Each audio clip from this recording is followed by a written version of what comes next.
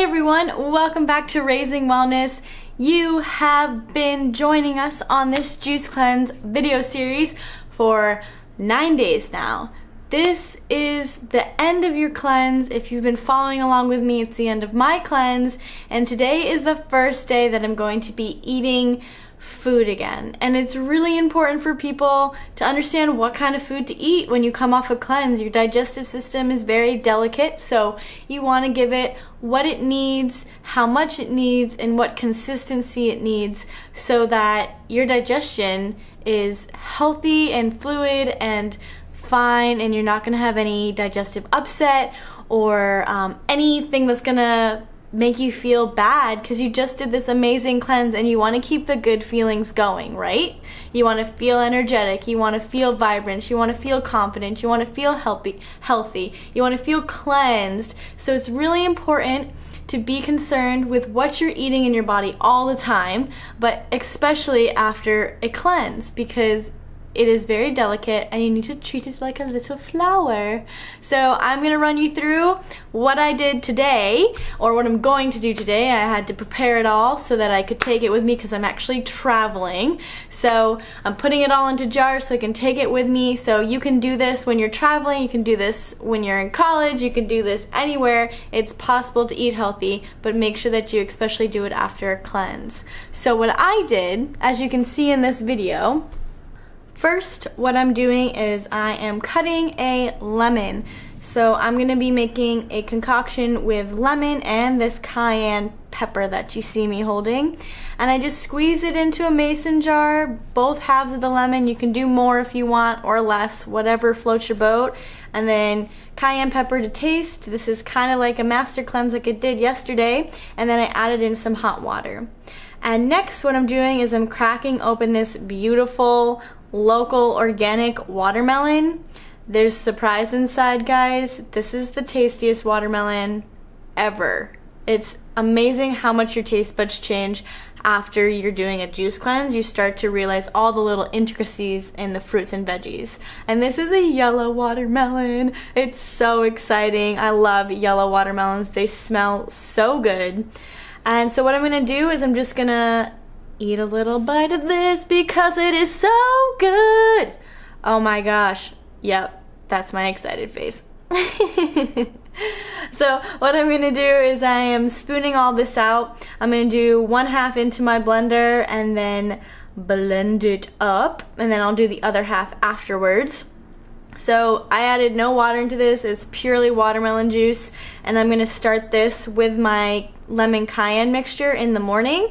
So the most water dense fruits and veggies should go in the morning because they digest the fastest. And I'm smushing all this up into a smoothie because my stomach has been digesting just juice for the past seven days. So I want to give it something that still has some of that insoluble fiber, but is in a liquid form so that it's easy to digest. And there's both halves of the watermelon fit nicely into these two mason jars so I can take it while I'm traveling. And next I'm gonna make a soup. So it's with lemon and garlic and then two stalks of celery and a big cucumber and a small cucumber. So what I'm gonna do is put this into my blender and I'm just gonna squeeze the lemon in there. It's nice and juicy. And lemon is just amazing. It's super alkaline. It's going to help your system just to stay alkaline and stay digesting properly and just to keep your pH in balance. And next I'm going to add in my celery filled with so many beautiful minerals, great for your skin, amazing for your digestive system, and to help heal your gut. So I'm going to throw all that in there and then I'm going to add some water in there. I added 16 ounces of water and I'm going to blend all this up before I put my cucumber in so that all those leafy greens can get as mashed as possible. I just have a Ninja so it doesn't do as well as a Vitamix would but if you do the leafy greens first and then add in the rest of your ingredients it usually um, blends pretty well together. So now I'm adding in the cucumbers, gonna give it a little bit of extra water in there and then some Himalayan salt, a little bit more cayenne just to further stimulate the digestive system, wake it up, and then some black pepper for flavor. I'm just gonna shake all those guys in there. You can do however much you want. Um, this was just to my own preference, so mix and match you guys, play around, get creative in the kitchen, and then just gonna blend it up from there. And like I said, I'm taking all this traveling, so I'm just putting it in my mason jars so that it's easy for storage and easy to grab and go. And this is my beautifulness. Like I said, if you have a Vitamix, it'll come to a much more smooth consistency, but I'm working with what I got and it came out perfectly fine and delicious.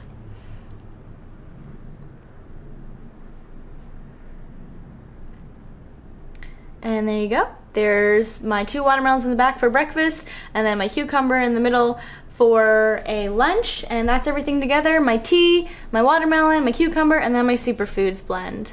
And here's just a little um, clip of what I look like after my cleanse. I had a lot less bloating on my stomach, and that's because I was doing purely liquids.